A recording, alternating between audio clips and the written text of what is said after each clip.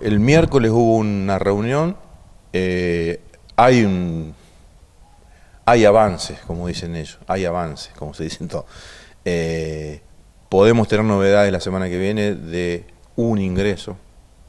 Nosotros acá necesitamos por lo menos cuatro, cinco en la zona. Eh, tenemos casos muy, muy duros, porque yo lo estuve recorriendo. en Roca dejaron dos personas, uno en la caja y uno que hace todo, una compañera. Sin gerente.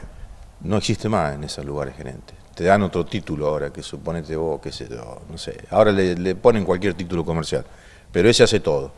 El reclamo de jubilado, el reclamo de algo que pasó, el, el préstamo para un agropecuario, etcétera, etcétera. Todo cae es una persona. Ya tienen problemas de salud. Roca, Camilo pasó lo mismo, Valdicera pasó lo mismo. Sintra pasaba lo mismo, y en Sintra lo pudimos revertir un poco políticamente, porque yo me tomé el trabajo de, por ahí uno tiene relación con ciertos intendentes, porque esto es una parte, esto es político, no es netamente comercial. O sea, a mí no me podés decir vos, como presidente del Banco Córdoba o como director del Banco Córdoba, que el Banco Córdoba pierde plata en roca. Un ejemplo que doy puede ser Valdicera. Bueno, no me puede decir eso, porque el Banco Córdoba no está para ganar plata. Si bien no, está para perder, no está para, para como el Santander, el francés, Galicia, etcétera, que es una parte privada. Ellos, si no anda el boliche, se van, listo, punto aparte. Y ellos, ahí no, nos podemos meter mucho. Podemos, hay un tiro de afloje con los privados, pero hasta ahí. El Banco Córdoba es distinto.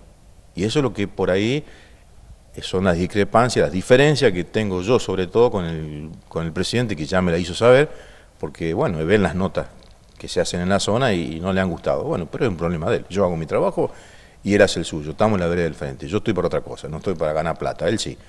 Pero en ese ganar plata está el ser humano.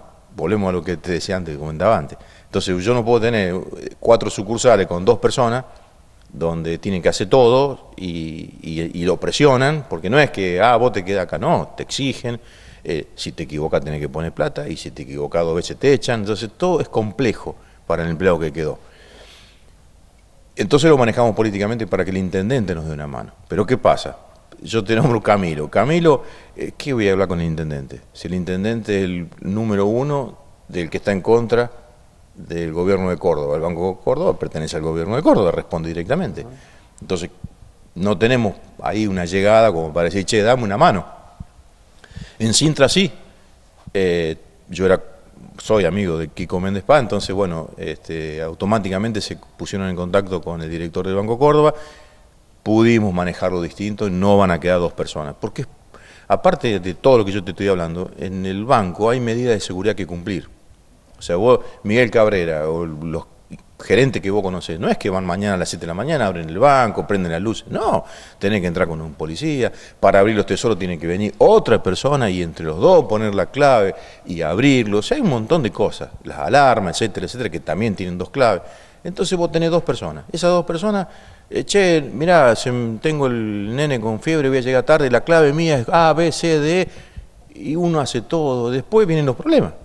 Porque abrió la puerta, se encontró con 6, 7, 10 millones de pesos, porque mano de haber no banco, y che, no están malos.